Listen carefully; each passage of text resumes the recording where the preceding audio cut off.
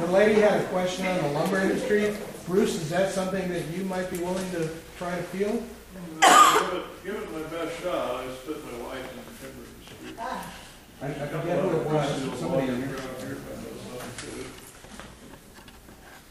What was your question? Well, they had referenced uh, Washington Street, and I guess some lumber people came down from Washington and Yes, started yes. something. And I wondered what was, how that went, you know, how- what was the takeoff point and and how did that develop in this area?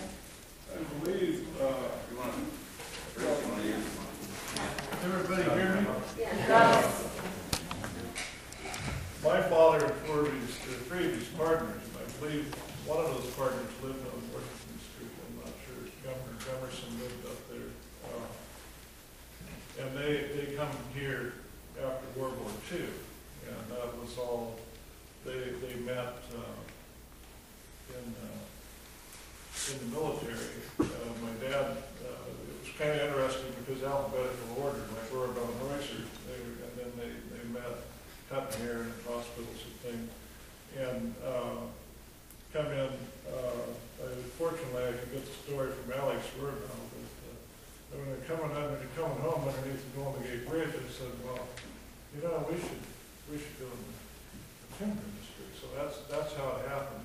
Uh, And then, uh, Builders Lumber Company, uh, GNR, uh, was formed. There was there was a newspaper article that, uh, my wife was able to get from Alex a lot of the history businesses that were formed just from that, that group. But there were, several mills that have been here, uh, come and gone. I think there was just about a sawmill, uh, just about every place you could think of one. I don't know how many mills, uh, uh, they were, uh, I heard two hundred at one time between here and Denver. I don't know if you have any, uh, questions about particulars. Is that better?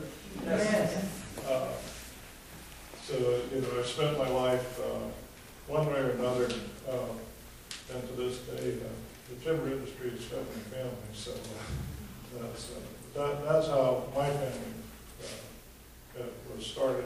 And, uh, and I worked uh, at the tire shop for about seven years, so that's where I got my pedigree. uh, Well, it is, you know, that uh, I was uh, uh, severely dyslexic, so I learned by listening, and people said, where do you get your business sense? I said, well, I changed tires for business people for seven years. That's where received my. All they, they would come in and talk to my bosses, Walt and uh, Arthur Lawrence is man, but uh, that was very interesting, the education that you could receive by listening to, the- to the local people talk, and the ethics that you, uh, you learn what works and what don't work. So, I don't know if I can answer anything else, but that's, uh, uh, some of the earlier things like the, the mills, uh, plywood mills and things like that were in the earliest. uh, But anyway, a tremendous amount of, uh, commerce was going on. So I, I would, I, I like listening to the story about the wool cars, because my big brother and myself, uh, when the wool cars, the wool bags were very tall. And so they needed somebody with a strong back and weak mind to put them on. Uh, I don't know whether they ever got some little strong parts, that was very good. Worse, worse than that was filling the wool bags. The wool bags hung up there about six feet, seven feet tall.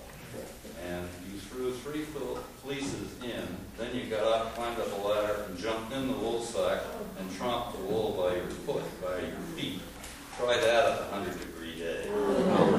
One, I'm really coming on, on, or on wood for forest products. During the early, earlier days, you could not give away fir shade trees. On that ranch of ours, we girdled, killed the trees to improve the pasture. You couldn't give the timber away, you couldn't sell it, couldn't give it away until the end of World War II. That's when it all began here. Anyway, that's some of my history.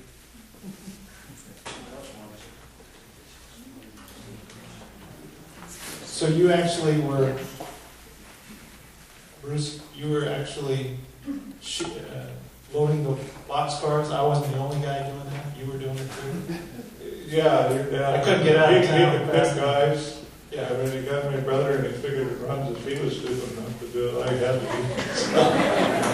It was those bags weighed three hundred pounds, and you'd be one person in the, in the top of the boxcar rolling the thing back to the end of the boxcar and then coming back and getting, you could get, you could actually get two levels up there. I mean, Yeah, it, it, As you it- know. the, the car was full, this was a very thrifty community, there was nothing wasted. The car was full, and if you slipped down in between the bags, it was difficult to get out, so you try to never have that happen.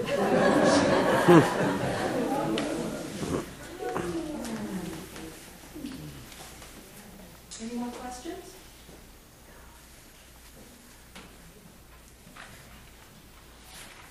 I might mention, uh, property sale while we're, about, a little bit about World War II. Um, My sister and my my aunt raised us. She had a volunteer during World War II, we had a a cabin, a little house type of thing up on the reservoir, way on top of the hill for spotters. And they, every, they run shifts and they go down and park by Simonson's Dairy Lot, and they walk up the hill and get in the little house with their field glasses and binoculars and watch all day for airplanes, strange airplanes, Japanese airplanes. Hmm. I remember that very well, well, I'm sure my sister does too. Because there was, there was a time in World War II where we weren't really safe around Long Shot. The Japanese were getting pretty close, and they were, they found subs around San Francisco Bay, and they found submarines in Southern California. It was not, it was not going to be a good thing, but it all turned around. I can add about the submarines, uh, in during World War II now, I don't know whether it was about forty-three or forty-four, but the military brought a suicide Japanese sub through Cloverdale, and parked right there where the plaza is now for all day, and I remember going through it. It was about 25, 30 feet long, and it was just a suicide sub is what it was supposed to be. As they came into, come into, uh, the Bay Area, came to San Diego, and things like that. Uh, The Japanese dropped these subs off of ships and let them come into these ports. And a lot of them got away with it, but they, States captured this one and brought it two years without a semi. And everybody in town, I think at the time, well, eight hundred people. But What to do it. I don't know how anybody knew it was coming, but it, it it was fun and event.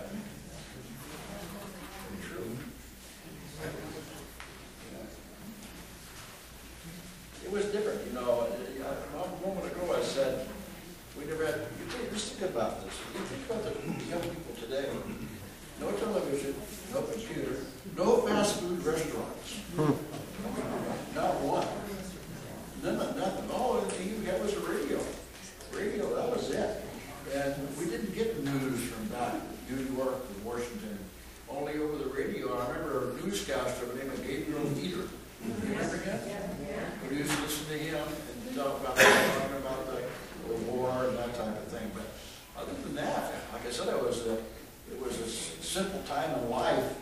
You, you- you couldn't even get a, you, I don't think you could get a hamburger. I don't remember ever getting a hamburger when I was a young child, do you? Yes. That one, my mother's in the That's what I'm saying. Uh, it- It's a different, Well, it was- different time. What was, what was interesting though is that when, if you went to the, if you went up to the ballpark on a Saturday or a Sunday, you'd find three, four hundred people up there watching ball. Because that was the entertainment for the town. They had people coming in from uh, San Francisco to play ball with the local guys here. And it was, it was interesting. I mean, it was jammed with people. Things would be full. Where was that ballpark at? Right where it is now. Same ballpark. And I'm not mentioning Citrus Fair. I remember going as a child Citrus Fair. We had twelve to fourteen feature exhibits. Now we've got three. I mean, everybody, uh, anybody living, in- not everybody, but the high school, the American Legion, the VFW, the Grange, right on the line, all built feature exhibits. And I can remember so well, back in the late thirties, uh, to the fair, that was the only thing going on. I mean, that was it, that was the entertainment. We didn't have entertainment except for the radio. So we looked forward to the fair, and it was really, really a wonderful, wonderful thing to do. And as children, we used to go, up the old fair building, that building that burned down, had balconies. And we'd go up the balconies and look down on the people. And you take a Saturday night at the fair, back then, it was amazing. It was absolutely amazing. They had a huge dance floor, and they- that was a big band era. They always had the Del Courtney Band from Oakland, and the Ralph Lawson Band. They were a big band era, and they played beautiful music. But let me tell you, we sit down and look down at these people. All the men coming into the dance floor with the ladies, all wore suits and ties. There wasn't one person on that dance floor that was not well dressed. Because I'm talking about 1941, 42, 40, but that's what they did those days. And that was a lot of fun. And, and they, you, all they had was a Ferris wheel. The Ferris wheel was with, the- with, the- with the restaurant closed down on the corner there, First Street and the whole bar. And that's about it. But it was fun, right? One more, Dennis? one more Yeah. question. Wait, let me, let me say one thing. One thing that I, just in listening to everybody here talking, uh, I think I learned my public service or my, that kind of giving back type stuff from my dad because he was a member of the volunteer fire department in this town. And this town didn't have a full-time fire department, you know, it was all volunteers. And it was interesting every time the siren went off to see what happened, because everybody went nuts. It was really something, and it became a, a very important part of the fabric of the community. Was the, uh, I think I paid a dollar. Think I paid a dollar for a small fire and two dollars for a big fire.